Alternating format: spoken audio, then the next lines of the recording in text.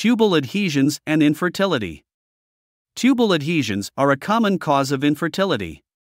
They can be classified into two types external adhesions, such as those caused by pelvic inflammatory disease, sequelae of tuberculosis, and endometriosis, as well as adhesions between the fallopian tubes and ovaries resulting from surgeries.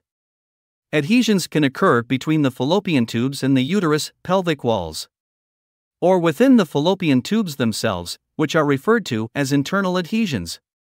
Both types can lead to infertility.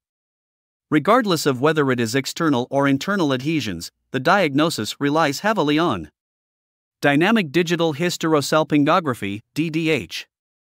Only Beijing Antai Hospital offers this advanced technique. DDH involves gradually injecting contrast medium into the uterine cavity, fallopian tubes, and pelvic cavity.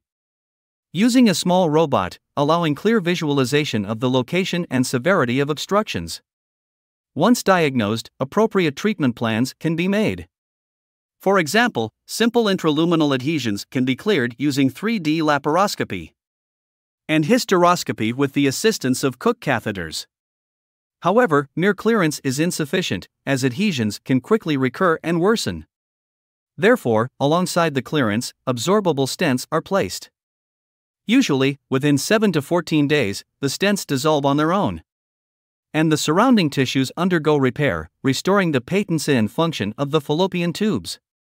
For external adhesions, the main approach involves using 3D laparoscopy and ultrasound knife to gradually separate and restore the anatomical structure of the adhesions.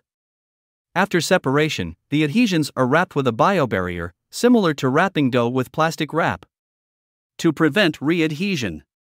This biobarrier is also absorbable and typically dissolves completely within about one month after surgery without the need for removal.